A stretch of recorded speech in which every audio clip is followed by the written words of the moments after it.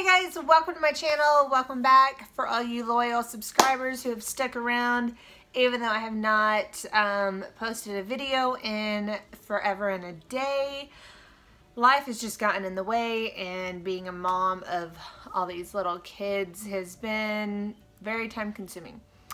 Anyways, today's video I was debating about doing because I just didn't know if I should do it or if I should not and just message people that have been asking me about it. But I just figured, hey, what the heck, I'm to hop on here, I'm to do a YouTube video so I don't have to type out the story and all that 20 times to everybody who is um, messaging me, asking me about my breast reduction.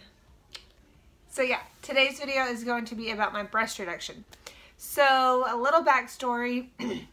for all you guys that don't really know me, um, I have been wanting to get a breast reduction for several, several years now, and um, we'll just say I had extremely large, uncomfortable breast um, to begin with. I, at, before I had my first kid, who is um, almost seven years old now, I was a triple D. And then after having her and then my three other kids back to back, I got up to a 36I. Yeah. I got up to a 36I and no matter how much weight I lost, I um, could never get my boobs back to a normal size. And for the last several years, I've been having problems after problems with my breast um, pain in my back, pain in my neck, um, you name it, it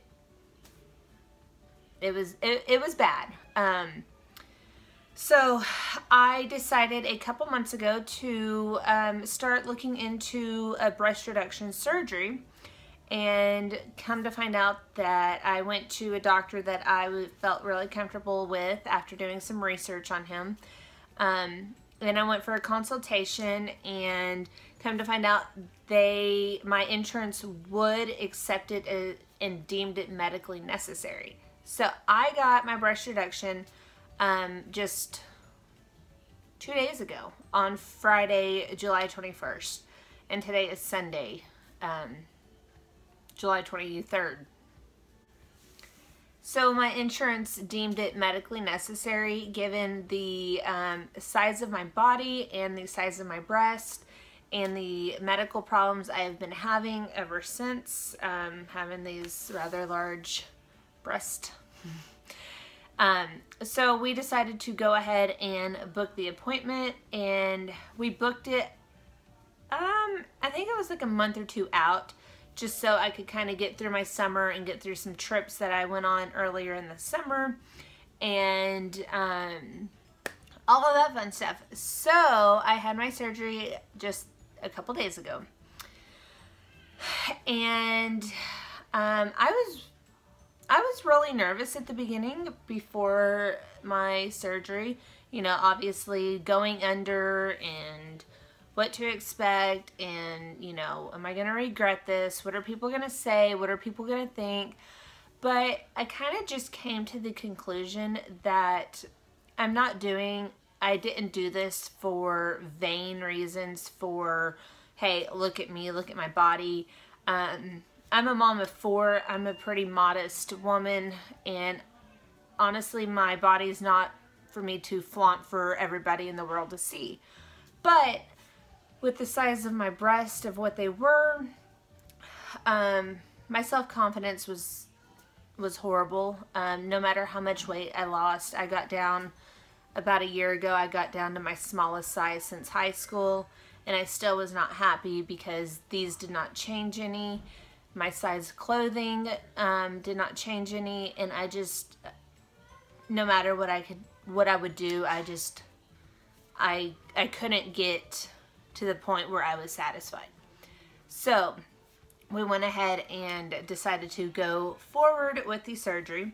So I went in Friday morning um, around 10 o'clock and they did all the pre-op stuff, um, got me ready for surgery. My husband was there with me. Um, the doctor came in and he drew all over my boobs and like, you know, marked them up and, you know, did all the lines that he needed to do. And then the anesthesiologist came back in, gave me a margarita, as they call it, your pre, um, pre-sedation drug, I guess. So just to relax you and calm your nerves. Um, they rolled me back to the OR and I remember just um, talking to the OR nurse, showing her my, oh, you can't see it, showing her my tattoo, which y'all can't see, talking about my kids, and then I remember waking up in recovery. And I was so scared I was going to be in so much pain and it was just going to be horrible. Um, I had a tubal uh, last year, and that was the most pain I've ever been in. Granted, I am in not a ton of pain with my breast reduction surgery, but I am definitely incredibly, incredibly sore. Um, so like doing arm movements like this, or like I basically cannot raise my hands up any further than this without it hurting. It kind of just pulls and it hurts and it's extremely sore. So I've been staying on top of my um, medicine that the doctor gave me just so I don't start to get into any extreme pain. Now my biggest issue right now is I do have four little kids and keeping them away from me and keeping our two big dogs away from me. Um, I cannot lift anything over eight pounds right now. Um, and all of my kids are bigger than that. Um, and it's sad because they'll come up to me and want me to hold them and I, I can't. So I think that's one of my biggest issues right now and just kind of being uncomfortable. Um, so my surgery was two days ago, so I'm two days out and I finally got to take a shower today. I could have taken one yesterday, but when we took all the um, gauze and uh, redressed it, I was feeling really incredibly nauseous and sick that I just, I couldn't take a shower at the time. So um, today I got to finally take a shower and clean this stanky body um, and look human again, even though I'm sitting here in pajamas, but that's okay. So, um, it's basically not as bad as I thought it was going to be definitely really sore like I've already said. Um, some pain under this side where the incision is. I'm not sure if it's getting infected or if it's just that deep of an incision where the stitches are. Um, I go back to the doctor today's Sunday. I think I go on Tuesday for them to check it out and make sure everything is looking good. Um, let's see. So when I undressed today and took all the bandages off and I really looked into the mirror, I cried. Um, ah, there I go again. Because this is such, this has been such a huge, huge, huge deal for me. Um, like I kind of mentioned before, to look in the mirror and to not only see but feel this huge difference. This is the biggest change I've ever done to my body. and the boobs, they're all mine. It was just, there's no implants or anything like that. It's, they're all mine. They're just back to life. um, so yeah, I had been watching a few other YouTube videos and one of my friends, um, Tam, over at Hall & Co., which I can link her below, in one of her update videos from her breast reduction, she got emotional on it too, and I was, remember watching it, watching it, and I was just like, man, I hope I can feel that way one day. And I did. I do. Um, now I can already tell you going bra shopping is going to be an emotional wreck for me. Um, I've been wearing the wrong size bras for the past six years because I refused to pay a hundred plus bucks for one bra.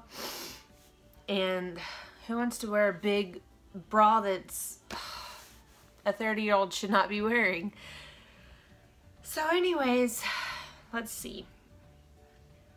Just other than just a little bit of soreness and um, limited mobility in my arms and um, all of that, it's really been good. And I will insert pictures here at the end um, of, so you guys can see they are not the prettiest right now, but I have full faith that once they heal, the scarring will be better. And just keep in mind these pictures were taken 24 hours after my surgery. So I took these pictures yesterday.